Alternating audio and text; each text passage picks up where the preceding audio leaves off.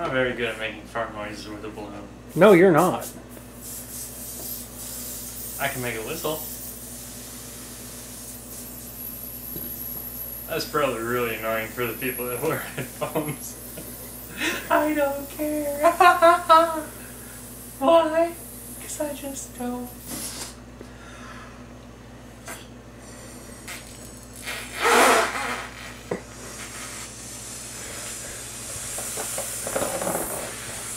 Furhead told me he's not been to the bathroom yet, so exerting himself this much in the name of blowing up a balloon may really not be a very good idea.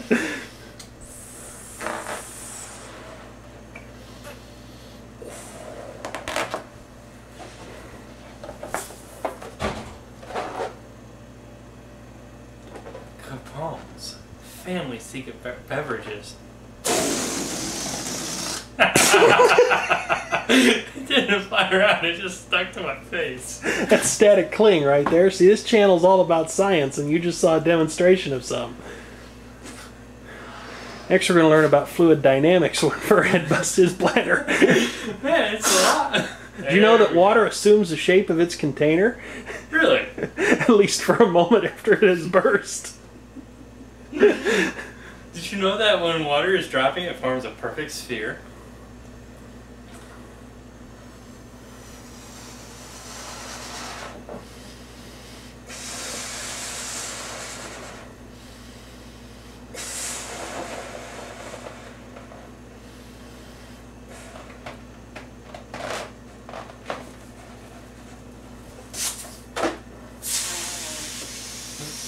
That's some weak sauce fart noises.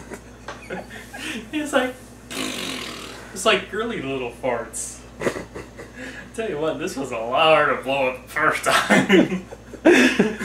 my face was red, my bladder was going. Yeah, unfortunately, I didn't get that on video. Yeah, that thing should just be glued to your hand. Oh, is it a good idea to videotape this? Oh, oh, oh, oh, oh,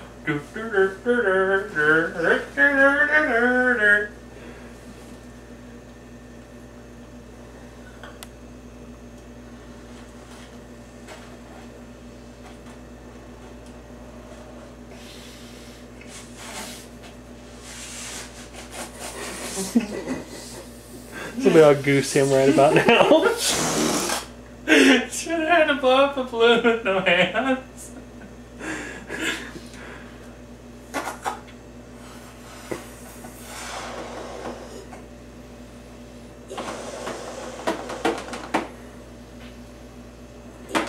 Have I ever mentioned how much I hate the sound of balloons popping?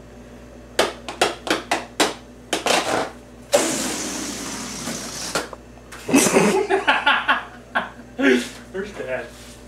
Oh, he's gone upstairs. Okay, good. We can make noise then.